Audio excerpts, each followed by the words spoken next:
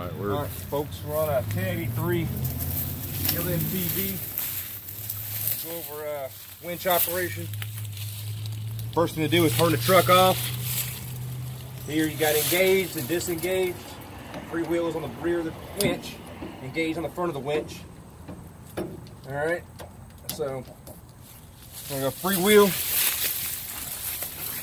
And you'll pay out your cable. You can power it in and out the dashboard.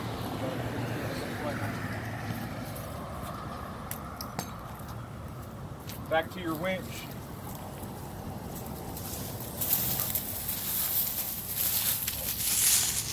Go over to the engage side.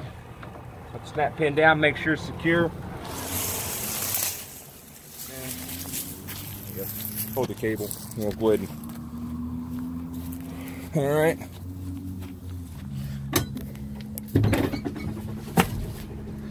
Start your truck.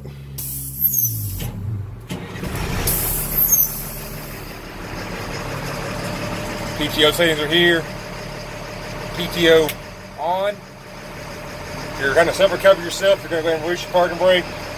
Make sure it is in neutral. Put your RPM up. It says number four, uh, but you don't need much on this. Just switch over this way, PTO in.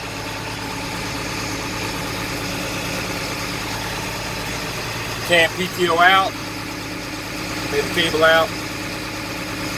To go fast you can. I wouldn't pay it all the way in now. But pay in switch down.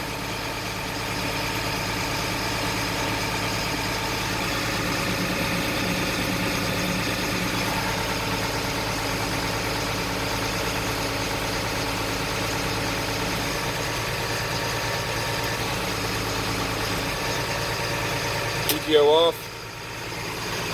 Which is a neutral. Apply your parking brake. That's it.